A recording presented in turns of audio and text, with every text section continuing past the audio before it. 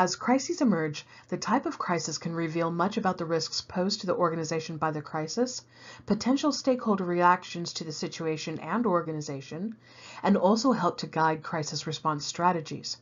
Before making practical recommendations about how an organization should respond to the crisis, practitioners have to know what kind of situation they're managing. So why start with a focus on blame and crisis severity?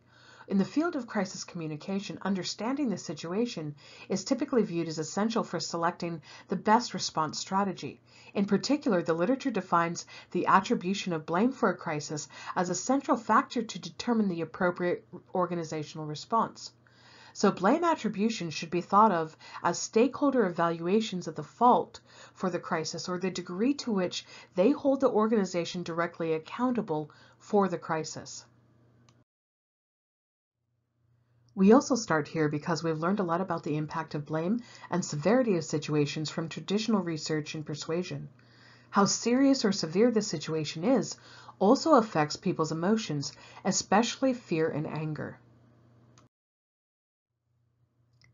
Negative emotions are more likely to occur during crises because crises create a sense of uncertainty and frustration and the degree to which folks think that the organization is to blame, coupled with how bad the situation is, creates the heart of how much risk there is for an organization as a result of a crisis. So if we understand that blame combined with severity produces uncertainty for people, then it's not really hard to understand why crises represent a critical threat for an organization's reputation, its well-being, and potentially even its survival. If a situation evokes negative emotions about a crisis, stakeholders are more likely to blame the organization and the reputation is likely to suffer. However, if an organization responds well to a crisis, that can mitigate the negative emotions and affect people's perception of the organizations, its actions, and how it's handling the situation. From the stakeholder perspective, we have to meet the stakeholders' expectations and needs. In short, we have to understand how stakeholders see the crisis to better anticipate their needs and how to respond ethically and appropriately. That's why the research connected to both crisis and persuasion tells us that blame and severity make sense as two of the most important factors influencing how stakeholders evaluate crises and the organizations involved in them. Most theories related to persuasion, risk, and crisis communication all make a common assumption. That is that different situations require different messages. In part, this is because of what we just talked about, that different situations create different stakeholder needs. In part, it's because it just doesn't make sense to respond the same way if the organization is at fault or if it's not. Nor does it make sense to respond the same way if lives are at stake or if they're not. It's also important to remember that crises themselves may be complex. It's entirely possible that an organization in crisis might be dealing with multiple crises at once. So it will be important to understand the difference between the situation that caused the crisis and what may happen afterwards. We should think of the primary crisis as the triggering crisis for the organization, what actually causes the crisis's emergence. However, crises are often multi-layered, with new and different crises emerging that are directly tied to the primary crisis, but that are caused by other factors, including the organization's response to the primary crisis. Those are called secondary crises. Now, different authors will talk about different typologies for crises. However, for me, the types of crises discussed in this chapter not only best complement the body of research connecting crisis, type, stakeholders, and crisis response, but also represent a very concrete way to understand crisis type. The typology presented is equally applicable to both primary and secondary crises, but we'll focus most of our discussion on the primary crisis and explore crises as transgressions, events, disasters, and reputational attacks, representing the most up-to-date and stakeholder-centric typology. First, transgressions. What's a transgression? As the name suggests, the organization is materially to blame for the situation. That is, the organization did something wrong. For example, Tiger Woods' problems certainly started away from golf and his business, but they didn't remain there long. While transgressions vary in the potential impact on stakeholders, we should assume some stakeholder perception of severity for any transgression. By far, transgressions are the most studied type in the field because they're the basis for the most legislation, liability claims, and most likely to damage the reputation of organizations. But we need to note that just because an organization commits a transgression, it doesn't mean that they're a villain, just that fault is clearly attributable to the organization. So they come in many shapes and sizes. And let's take a look at some of the different types of transgressions.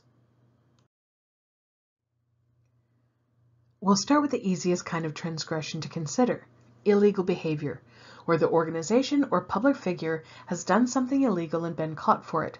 In some cases, these kinds of behavior may not really amount to much more than a fine. However, in others, corporate illegal behavior not only brings down an organization, but can also fundamentally change laws. For example, in 2001, the Security Exchanges Commission in the US brought charges against Enron, an energy and commodities company, and it was one of the most shocking and widely reported ethics violations of all times. Not only did it bankrupt the company, but it also destroyed Arthur Andersen, one of the largest accounting firms in the world.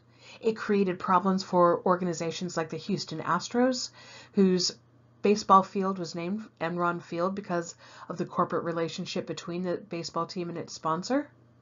But more than that, it resulted in fundamental changes to accounting law that was put in place in the US and then had ripple effects globally as many countries doing business with the US or US multinationals also had to comply. So illegal behavior can result in both serious material and reputational problems for the organizations and even entire industries. A second type of transgression is some kind of technical breakdown or accident. In this case, the organization didn't necessarily do anything wrong, but ultimately it's their responsibility because of the technology or equipment failure. These can be some of the most deadly and life-changing types of transgressions. A clear example is the MH370 flight disappearance in 2015 that we still don't really have any meaningful answers to.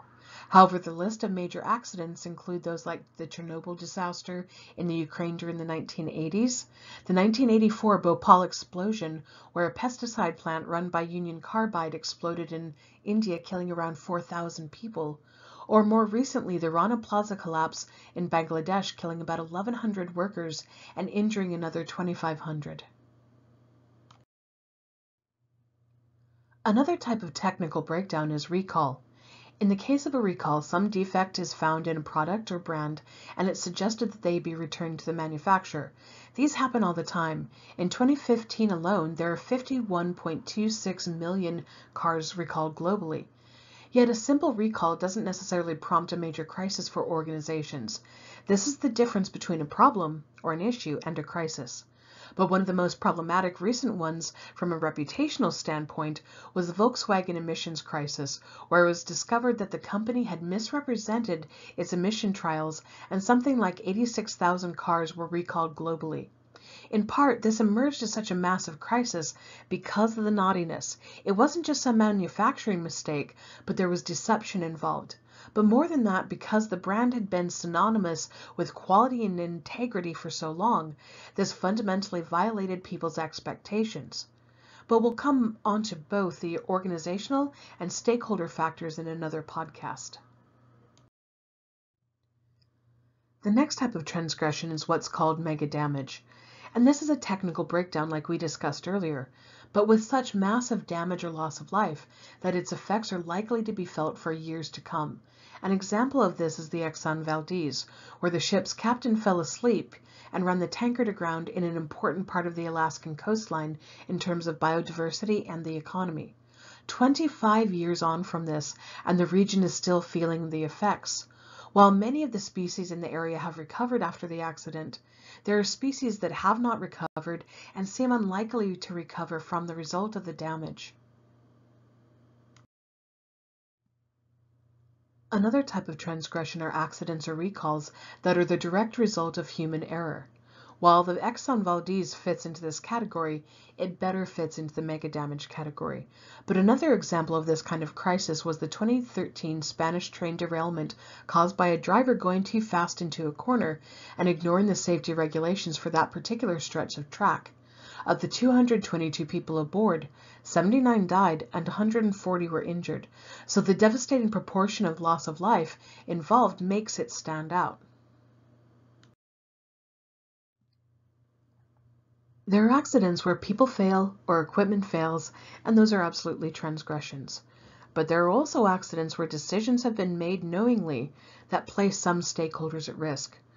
While we talked about the Grenfell case during the issues management decision making discussion, I bring it up again here because it represents one of the clearest examples of this kind of transgression where along the line an organization or potentially multiple organizations made decisions about the cladding that ultimately put residents at risk.